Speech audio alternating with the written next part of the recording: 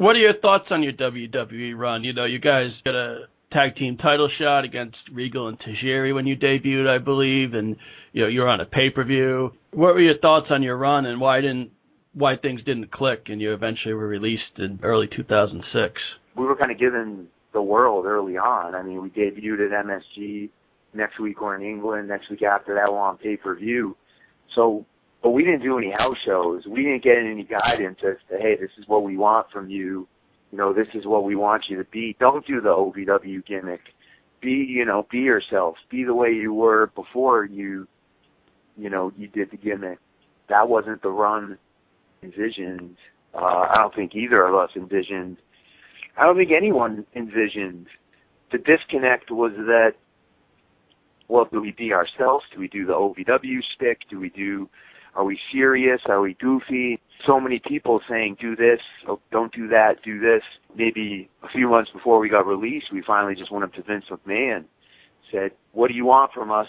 We have some ideas, and that was the best thing we could have done. I wish we had done it sooner. We came up as what they envisioned, which was two Justin Timberlakes, two two heartthrobs. That we were given the opportunity to let our in-ring work develop as a team. I think we would have been much more successful and if they went with the OVW great crazy goofy comedy stick, I think we would have been over. Yeah. Uh, I think they probably would have broken us up probably a year or so in, like they did with MNM. But I think our run would have been much more successful. I don't say what ifs or anything, but I think, as I said, if there was, this is what we want you to be, that are kind of being lost and trying to have to figure out, like, well, tonight we're going to be serious, tonight we're going to be goofy, and it just never clicked. Yeah, and very little direction. I mean, we debuted out of, you know, no vignettes. Our strong point was vignettes and talking and character and charisma.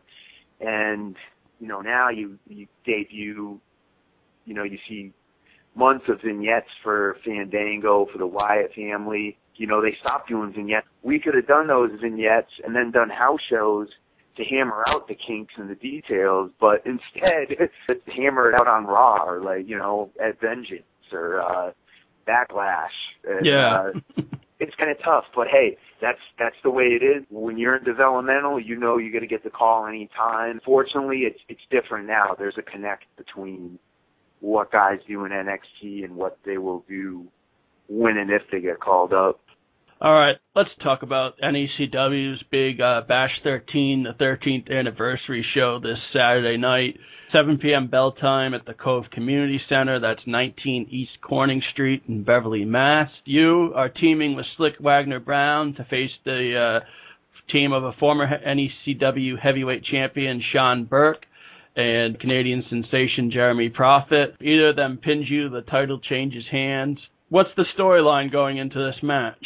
I broke Sean into the business. I trained Sean, and um, I continued to to help him out he injured himself uh, in a match we had in December.